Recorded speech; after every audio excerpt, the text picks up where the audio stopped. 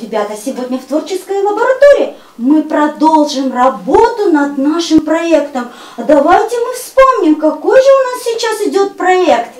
Ну-ка, ну, Откуда берется молоко? Откуда берется молоко? Все верно. В творческую лабораторию дошкольника «Робостар» дети приходят заниматься один раз в неделю. Объединившись по группам, дошколята смело принимаются за работу. Они создают свои модели из современных конструкторов, следуя пошаговой инструкции. Каждый модуль – это часть большого проекта под названием «Откуда берется молоко». Амелия Гули со своей подружкой собирают певчих птичек, чтобы улучшить настроение у коров, которые дают молоко. Сейчас, что нужно пить молоко, и ты будешь здоровым. Тебя будут крепкие зубы, и, и не будешь так часто болеть.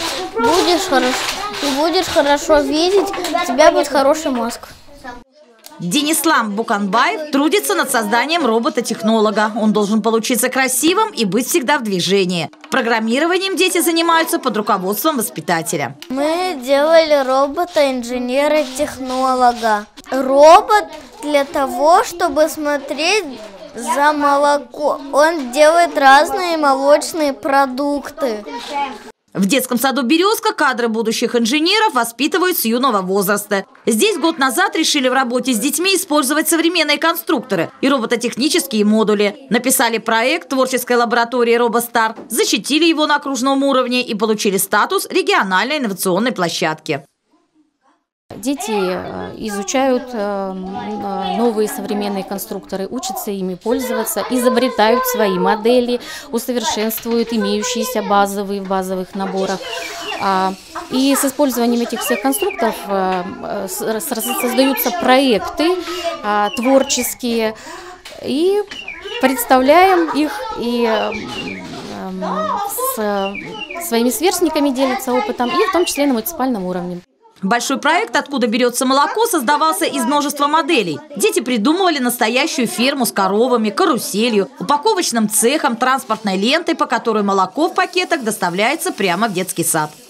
Базовые модели, которые предусмотрены в конструкторах, настолько усовершенствуются, что не каждый взрослый может догадаться, как можно ту или иную деталь а, использовать как можно из обычного трактора сделать э, комбайн, косилку, что к нему при, при, добавить, чего не хватает, как усовершенствовать, чтобы э, добиться цели. Результат, конечно, есть. И самый большой результат – это значительное повышение активности познавательной, потому что им это очень нравится.